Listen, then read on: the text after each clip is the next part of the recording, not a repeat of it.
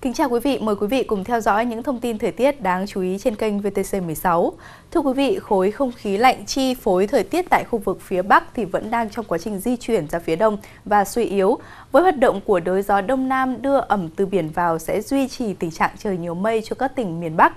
Tuy mưa không nhiều, chỉ xuất hiện cục bộ ở một vài nơi, nhưng vào đêm và sáng sớm có xuất hiện sương mù và sương mù nhẹ, làm giảm tầm nhìn xa, đặc biệt ở các vùng đồi núi sương mù khá dày đặc.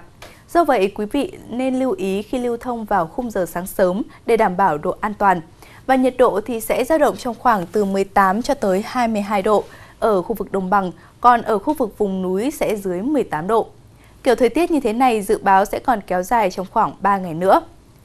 Còn ở trên biển, tình trạng sương mù cũng sẽ xuất hiện vào sáng sớm mai trên khu vực Vịnh Bắc Bộ, khiến tầm nhìn xa giảm xuống dưới 1 km. Các tàu thuyền hoạt động tại khu vực này thì cần phải chú ý quan sát để tránh xảy ra va chạm.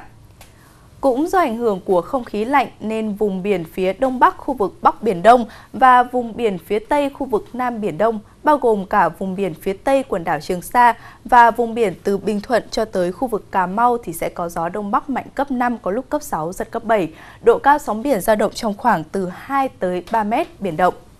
Đó là những diễn biến thời tiết đáng chú ý. Còn bây giờ sẽ là những thông tin thời tiết cụ thể tại các vùng vào ngày mai. Mời quý vị cùng theo dõi.